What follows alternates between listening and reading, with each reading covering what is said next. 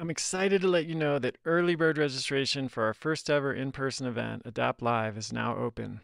This is a chance for us to come together as a community to connect, relax, recharge, laugh, play, and celebrate this amazing life that we get to live over Labor Day weekend at the Snowbird Resort in the pristine mountains of Utah, one of the most beautiful and breathtaking places in the world. Here's a sneak peek of what you can look forward to at the event.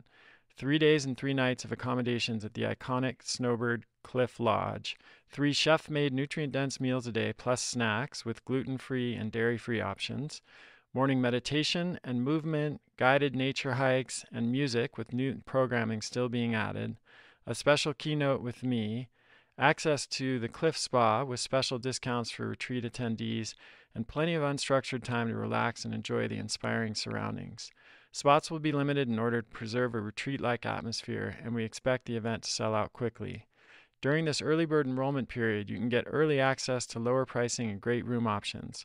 So if you think you may want to join us, head over to kresser.co slash adapt live, all one word, that's A D A P T L I V E, to learn more and secure your spot. I hope to see you at Snowbird in September. Hey everybody, Chris Kresser here. Welcome to another episode of Revolution Health Radio. This week we're going to do another research review episode. So I recorded the first one of these a few weeks ago and we got a lot of great feedback about it. So I am considering making it a regular feature. So the first study is about milk and MS. The study was called Antibody Cross Reactivity Between Casein and Myelin Associated Glycoprotein Results in Central Nervous System Demyelination. Woo! That's a mouthful. And it was published in PNAS. I think this is a really important study because the researchers found that casein, which is a protein in cow's milk, can trigger inflammation in the myelin sheath around the nerves in the brain. So if you think about our brain or our nervous system as a bundle of wires, which it kind of is, the myelin sheath is like the insulation around those wires, and it helps prevent short circuits, so to speak, and also helps with conduction of nerve impulses. And the researchers suspected that the reason this happened was molecular mimicry. So, what this means is that the body produces antibodies to casein, which is the protein in milk, for whatever reason in people with MS and, and I would argue other autoimmune diseases at times, I'll come back to that, see this casein protein as a foreign invader, as something that should not be present, and it produces antibodies against that protein in a similar way that our body would produce antibodies against a virus or bacteria or something else that is pathogenic and doesn't belong. But the antibodies that are produced against this casein protein also end up attacking proteins in the myelin sheath around the nerves. So that's that's this uh, phenomenon of molecular mimicry where antibodies that are produced originally against one compound or antigen end up cross reacting and attacking um, our own self tissue. And this can happen with gluten. Uh, that's probably where molecular mimicry is, is best known uh, in cases of celiac disease or non celiac wheat or gluten intolerance. But this study shows that it's also happening with milk proteins in people with multiple sclerosis. So, this is, I think, really interesting in light of Terry Wahls' work and also uh, AIP, the autoimmune protocol. Those of you that are familiar with this know that uh, in the autoimmune disease community, particularly in the functional medicine, functional health, and ancestral health spaces, there's been a protocol, uh, dietary protocol for addressing these conditions. It's been around for many years. Sometimes it's referred to as AIP, or that's that's one protocol, autoimmune protocol. Um, Dr. Terry Wahls, who suffered from MS herself, and uh, made a remarkable recovery. Also has her own version of this diet, and uh, it involves removing all dairy products from the diet as well as other foods like peppers, uh, nightshades, nuts and seeds. Uh, grains, legumes, etc., because all of these foods either can trigger gut issues that disrupt the immune system or they can cause antibody production, which then triggers this molecular mimicry phenomenon that we're talking about right now. There has been some published peer reviewed research supporting AIP, Uh, in fact, I've had Dr. Wahls on the podcast a few times to talk about her groundbreaking research in this area. But beyond Dr. Wahls's work and a few other papers, there hasn't been a lot of formal research supporting AIP and um, you know removal of dairy products for people with autoimmune disease. So this this study adds to that, and, and in particular for for patients with multiple sclerosis, suggests that consuming uh, dairy proteins may actually exacerbate the condition or even contribute to it developing in the first place. Although that's not uh, that was not studied in this study, and and I have some questions about that. So I just want to mention a couple things here. The first is that uh, while this study does show that dairy proteins can contribute or to or exacerbate MS, it does not suggest that dairy proteins are harmful for everybody. That's an important distinction. It's tempting to come to that conclusion, uh, but that is not at all what this study suggests. There may be features with people with autoimmune disease that make them susceptible to this kind of molecular mimicry uh, from dairy proteins that people who do not have autoimmune disease don't have. And, and it may even be particularly specific to people with MS. So uh, remember, with diet, there's no one size fits all approach. And, you know, there are always people who say this food is bad for everybody, uh, that food is good for everybody. And, you know, certainly there are, we, we can say that sugar, refined sugar, and flour, industrial seed oils, and foods like that are bad for everybody. Uh, and, and certain foods are good for everybody, but there's a limited number of those. And when it comes to choosing the best diet for ourselves as individuals, there really is no one size fits all approach. And it's important to consider a, a, whole bunch of different variables and also do a lot of experimentation to find that that best diet for you. Nevertheless, I think this is a very interesting study and it contributes to a lot of anecdotal evidence and, and some uh, published peer reviewed evidence suggesting that dairy proteins and dairy products in general may not be a good idea for people with autoimmune disease. Okay, uh, the next study looked at rates of prediabetes in teens over the last two decades. It's called Trends in Prediabetes Among Youths in the US from 1999 to 2018, and it was published in JAMA Pediatrics. So the statistics in this study are uh, frankly quite alarming. They suggest that one in five teens now have prediabetes. So just let that sink in for a moment. One in five teens now has prediabetes. This is a horrific failure of public health. We know from a huge body of evidence that people with prediabetes progress to full fledged type 2 diabetes at an annualized rate of 5 to 10%, and that 70% of individuals that are diagnosed with prediabetes will eventually develop diabetes. So, this makes it extremely likely that without intervention, if someone is diagnosed with diabetes as a teenager, that they will almost certainly go on to develop full fledged type 2 diabetes and probably quite early in their life, uh, given the statistics that I just mentioned.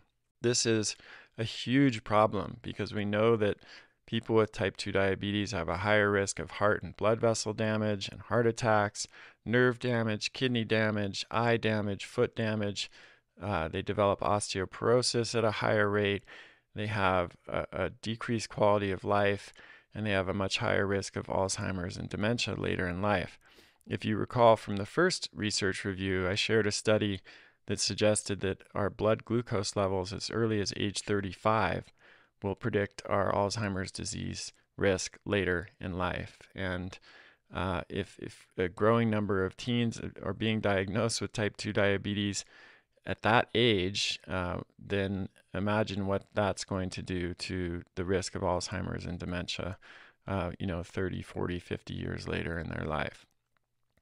So the researchers in this paper did not speculate on the cause of the, these increased rates of prediabetes in teens, but I, I will speculate on it.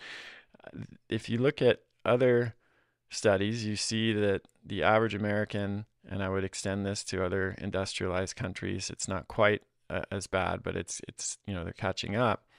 The average American gets 60% of their calories from ultra processed foods, not just processed foods, ultra processed foods. So these are highly refined foods like, you know, pizza, cookies, crackers, cakes, uh, sugar sweetened beverages, um, you know, all of the processed and refined junk that you get at, um, uh, you see a lot of fast food restaurants and convenience stores and things like this. These sources now comprise more than half of the calories that, that people eat. And um, this is true for teenagers as well. It may be even more true for teenagers. I haven't seen um, specific studies on, on the percentage of calories from ultra processed foods in this age group, but there are definitely uh, uh, trends in, in food consumption in teens that I think match or exceed what we see in adults. So that's one problem is is diet a huge problem. Number two is lack of physical activity. So, studies have shown that school age children, including teens, are sedentary for eight or more of their daily waking hours on average, and most are, accessing, are engaging in excessive screen time. So, sedentary time is, is a unique problem. It's not just lack of exercise or physical activity. Uh, someone could exercise for a half hour a day, but if they're still uh, if they're sedentary for the rest of of the of that day, then there's still going to be an increased risk uh, of diseases like type 2 diabetes. It's not enough just to get, you know, a short period of exercise each day. If you're sitting for an extremely long period of the day, then that uh, confers its own unique risk. And I've I've written and talked a lot about this over the years and, and I'm sure this isn't the first time you're hearing about it, but it's definitely, in, in my mind, a, a, contributor to this increase in, in prediabetes risk in teens. The third cause of this, you know, in, in my estimation, is lack of sleep. So we know that there's now an epidemic of sleep deprivation in teenagers uh, which is in part caused by excessive screen use, um, bringing phones into the bedroom, uh, texting during during the night, but also just busier schedules, you know, more activities, more homework, and just general trends. If a teen is not getting enough sleep, we know that sleep deprivation, even a single night of sleep deprivation, sleep deprivation can cause insulin resistance the next day. It can cause an increase in food intake. It can cause a decrease in judgment around food choices. Um, and that's just from one night. So imagine what happens over an extended period of not getting enough sleep. You put all those three factors together extremely poor nutrition, high rates of sedentary time, and then an epidemic of sleep deprivation, then that can certainly explain this alarming increase in prediabetes in kids uh, and teens. And this is something that I'm really passionate about. We need to get our act together here. It's one thing with adults, it's obviously a very bad pattern with adults, but with kids, uh, we're setting them up for a lifetime of, of suffering and, and chronic disease, and that's just not okay. So, uh, hopefully, this can be a wake up call and we can really make some progress towards uh, supporting teens in making better choices. Along similar lines, the next study looked at uh, how sleep deprivation increases abdominal fat. It's called uh, Effects of Experimental Sleep Restriction on Energy Intake, Energy Expenditure, and Visceral Obesity, and it was published in the Journal of the American College of Cardiology. So, this was a randomized controlled crossover study, which is a, a really great study design, uh, kind of gold standard. And they found that lack of sufficient sleep led to a 9% increase in total abdominal fat area and 11% increase in abdominal visceral fat uh, compared to getting enough sleep.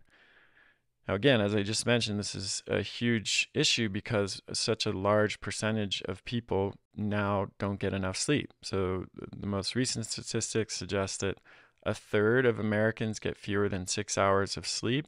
That's up from just a few percent back in the 1960s.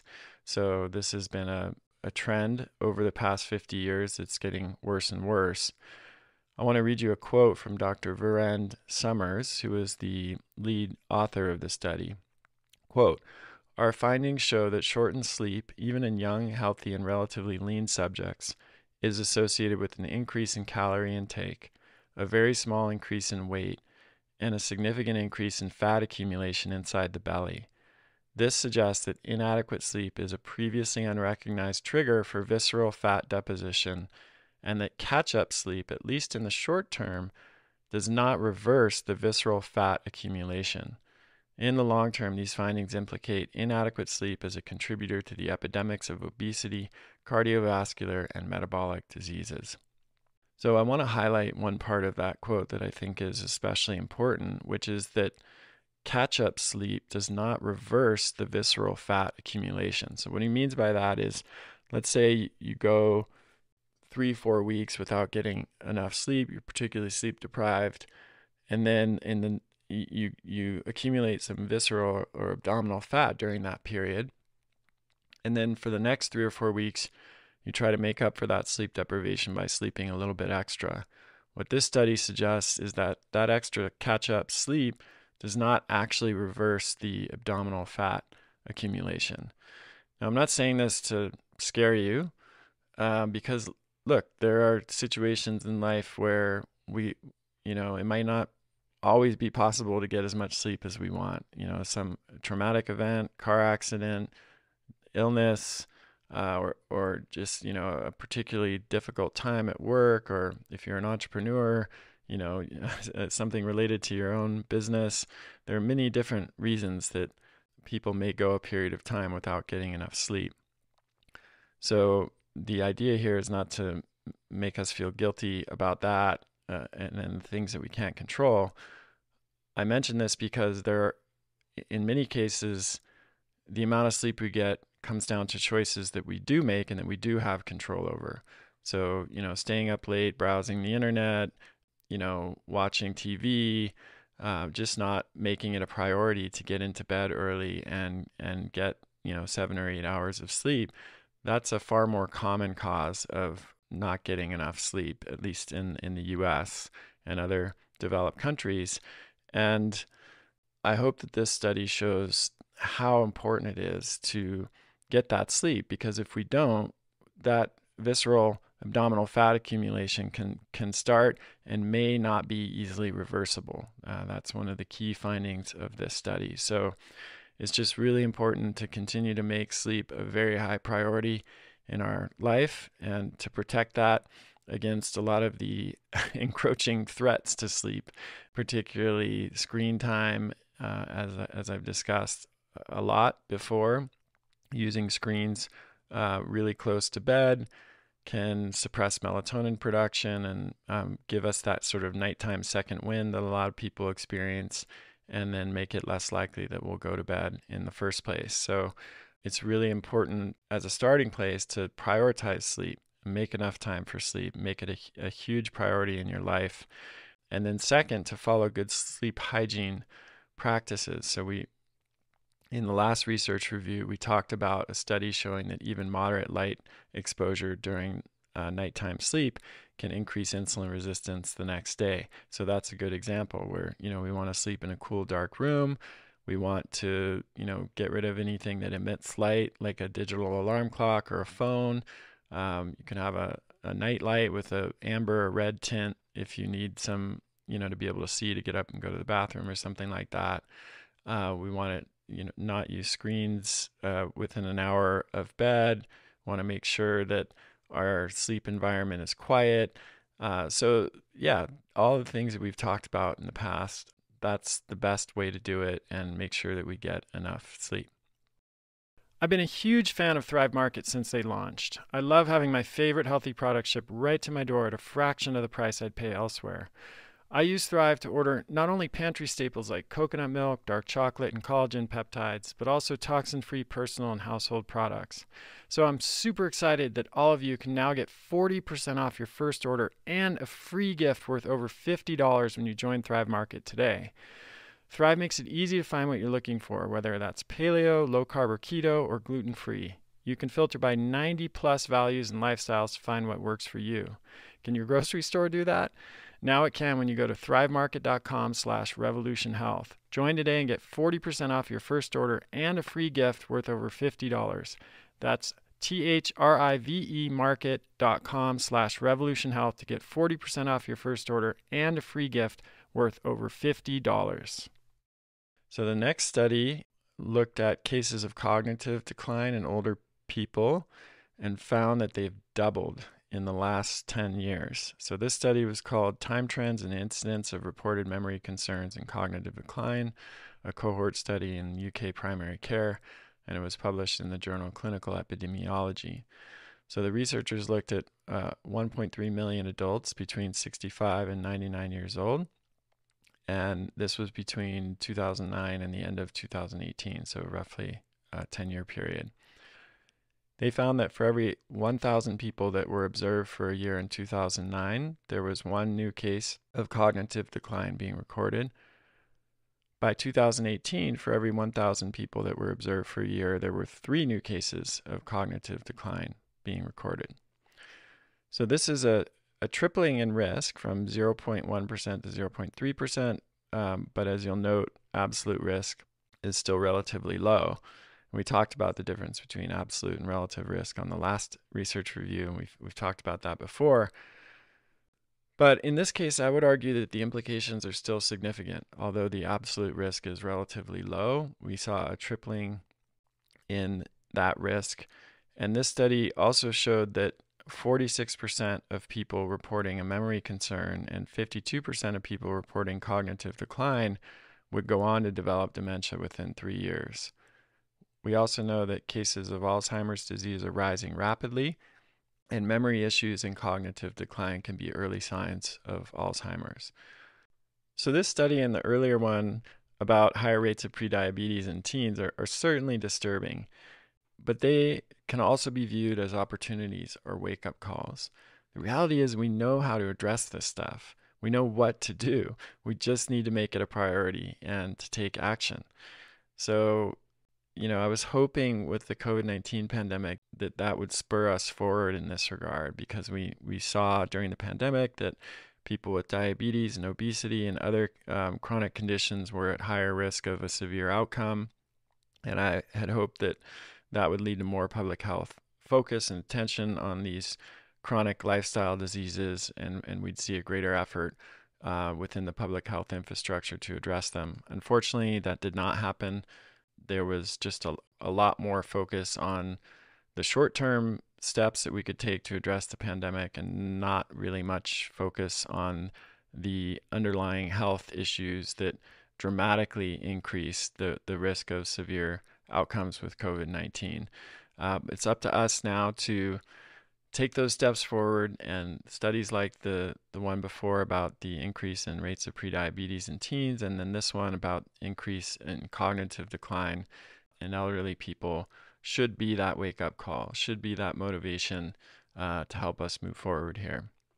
Okay so next study is uh, was really interesting one and it sort of looked at this question is free time overrated so it's called Relationships of Leisure, Social Support, and Flow with Loneliness in International Students in Taiwan Implications During the COVID 19 Pandemic, and was published in Leisure Sciences. So, actually, what, what the researchers set out to look at in this study is how to mitigate the, the negative impacts of loneliness. Uh, I've talked about the effects of social isolation and loneliness before. In fact, I mentioned it in my first book, uh, The Paleo Cure, loneliness and social isolation are a greater predictor of early death than body mass index, alcohol consumption, and even smoking 15 cigarettes a day, which is just remarkable. I don't think most people are aware of that. Uh, it's certainly not something that com- tends to come up in the discussion of the most important factors that determine our health span.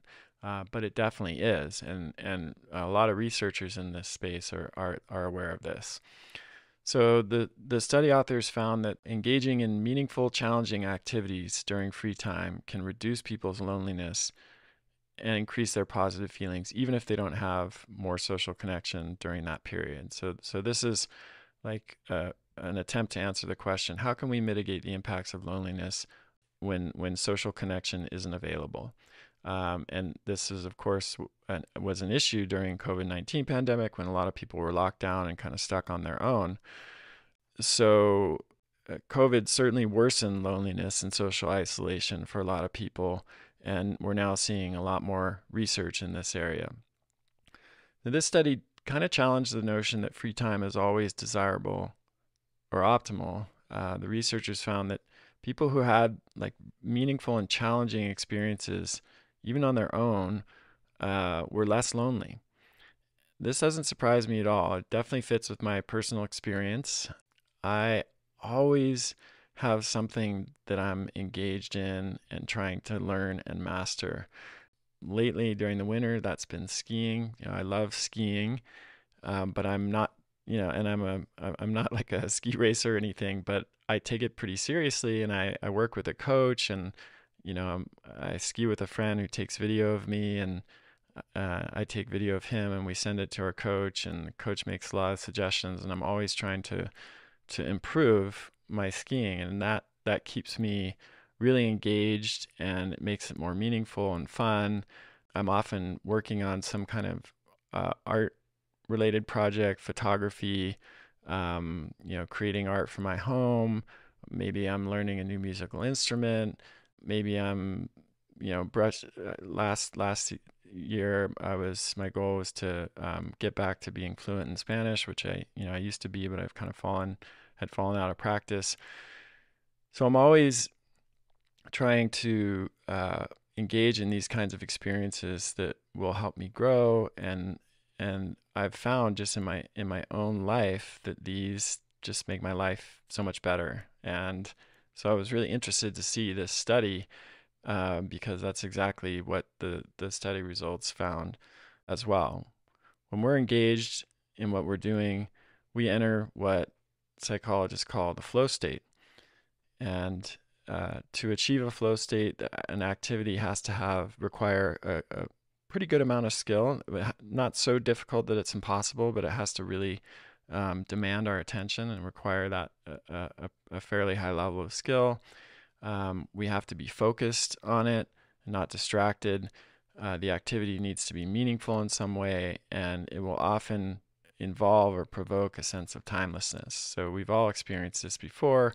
Uh, if you're like rock climbing or you're uh, engaged in, in playing music or making a painting or something like that, and we're just surprised or shocked by how much time has passed while we're doing that, that's this flow state.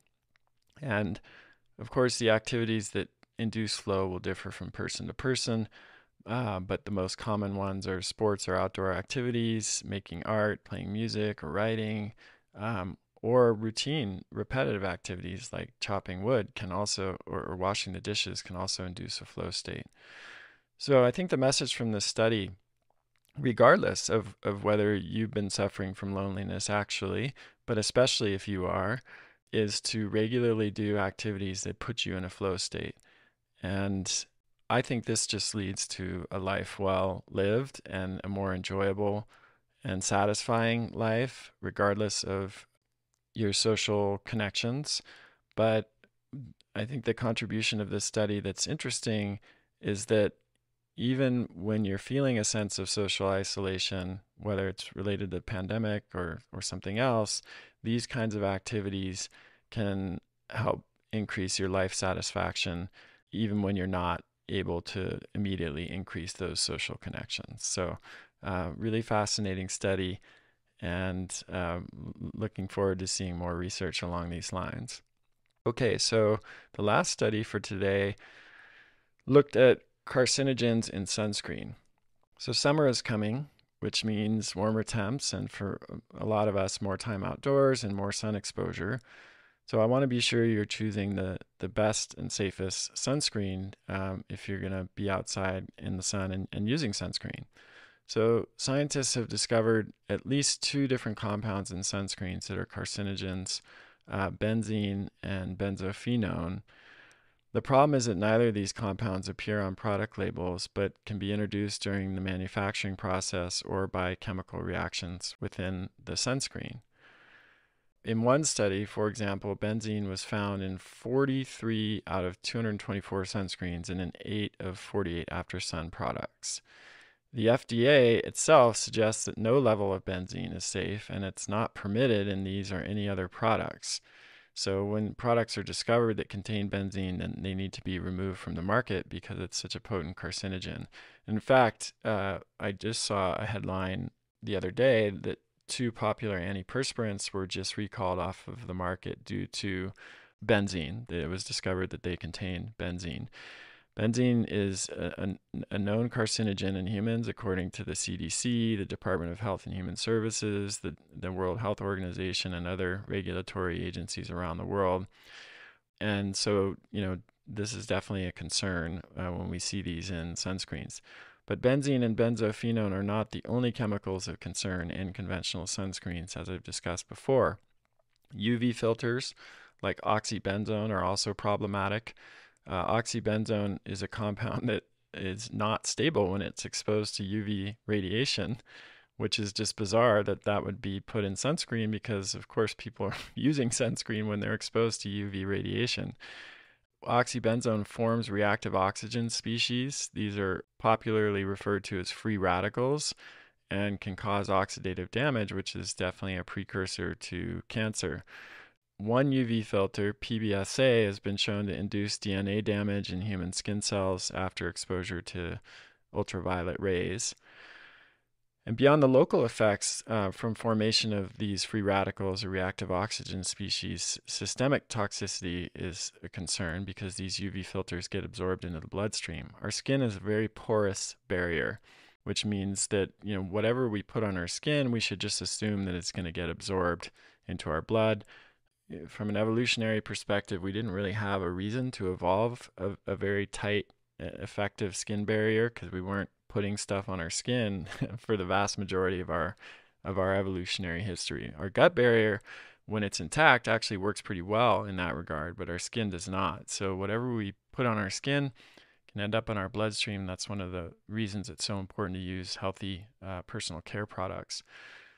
So uh, systemically, with these UV filters, one of the primary concerns is their potential for endocrine disruption, hormone imbalances. There are several animal and in vitro studies that have found adverse uh, developmental and, and, reproductive effects of these UV filters. So, again, that's uh, important for all of us, but even more important for kids and young people putting you know, these sunscreens um, on our kids as they're still developing their endocrine systems um, might be especially harmful. So, the safest option for sunscreen is one that is like a non nanoparticle zinc oxide product. And if that doesn't make any sense to you, uh, I'm going to direct you to the Environmental Working Group uh, website. They have a guide to sunscreens uh, with the the best sunscreens that don't contain these UV filters and benzene and benzophenone, and that are uh, zinc oxide based often and don't have nanoparticles, um, and are just the the cleanest, safest products. So. Environmental Working Group, we'll put a link uh, to it in the show notes to this guide to sunscreens, but you can also just Google Environmental Working Group Guide to Sunscreens and you should be able to find it. They've also got you know, good tips in general on how and when to use sunscreen and how to make good choices when uh, shopping for sunscreen. Okay, everybody, that's it for now. Keep sending your questions in to chriskresser.com slash podcast question, and we'll see you next time. When I find a company that I love and I think you'll love, I do my best to support it and help it grow. Sometimes that means just getting the word out through my podcast, emails, and social media channels and other times that means investing in the company or joining their advisory board. If you're hearing this message, it means that I'm either an investor or advisory board member of a company that is mentioned in this podcast episode. I only invest in or advise companies with a mission and products that I truly believe in. And I hope you benefit from learning more about them and how their products can improve your life. That's the end of this episode of Revolution Health Radio. If you appreciate the show and want to help me create a healthier and happier world, please head over to iTunes and leave us a review. They really do make a difference. If you'd like to ask a question for me to answer on a future episode, you can do that at chriskresser.com slash podcast question. You can also leave a suggestion for someone you'd like me to interview there. If you're on social media, you can follow me at twitter.com slash chriskresser or facebook.com slash chriskresserlac. I post a lot of articles and research that I do throughout the week there that never makes it to the blog or podcast, so it's a great way to stay abreast of the latest developments. Thanks so much for listening. Talk to you next time.